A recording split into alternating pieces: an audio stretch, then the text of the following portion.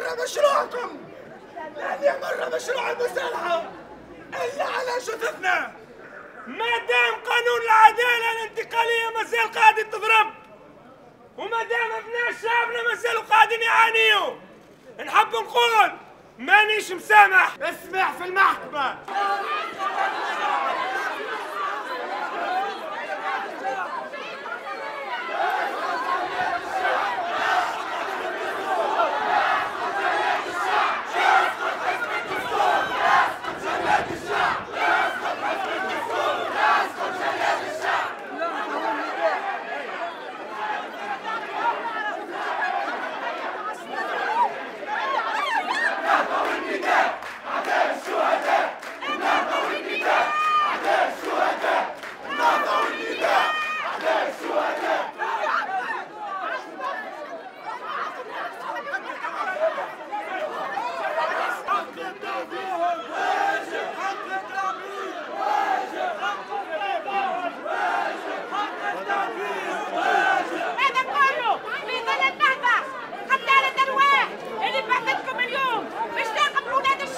مشروع قانون المصالحة الاقتصادية الذي سقط علينا من قصر قرطاج هكذا هو مشروع طبيب الفساد والفاسدين. هذا القانون كذلك يضرب بنودا دستورية جوهرية هي المساواة نتاع المواطنين قدام القانون.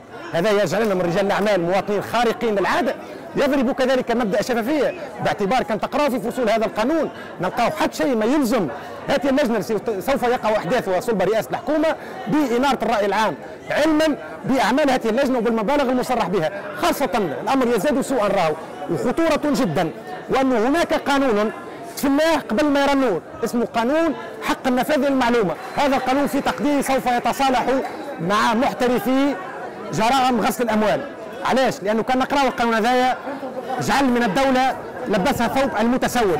تعالوا هاتوا الفلوس ولا يهمني من جبتوا المصادر نتاعكم. إذا كان فلوسك جات من تجارة الأسلحة وإذا كان جات من بؤر الإرهاب وإذا كان جات من تجارة الجنس ولا المخدرات والحشيش الأبيض ما يهمهمش الدولة. نحن نعتقد بان الحل الوحيد تجنبا لمزيد من الاحتقان القانوني السياسي الدستوري المجتمعي الأهلي المدني هو سحب هذا القانون من من دفع به. ساكن قرطاج يجب عليه أن يسحب هذا القانون وأن يحترم الأمانة التي انيطت بعهدته كرئيس الجمهوريه التونسيه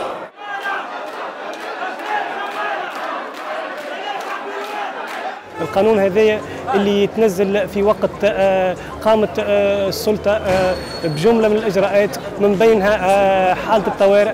حالة الطوارئ اللي كما حكينا إحنا في أول إعلانها إنها باش تتحبس الحراك الاجتماعي وباش توقف كل التحركات الشبابية وكل التحركات الشعبية في تونس وفي وفي الجهات. وهذا يتأكد اليوم بالمنع للمتظاهرين في التعبير على حقهم في التظاهر.